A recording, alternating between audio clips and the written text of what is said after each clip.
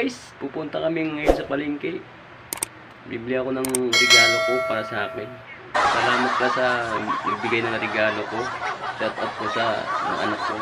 Ako nagbigay ng regalo, nag-ambag guys. Ayan guys, si Raisa din guys. Nag-ambag din para bibili ng cake para sa akin guys. Ayan guys. See you next time guys. Dito kami ngayon sa Goldilocks. Bibili kami ng cake ko para sa So guys, picture muna tayo guys ha. Bili tayo ng cake para sa regalo ko. Guys, pili na kayo. Oh, yan. Yan na lang. Yan tayo.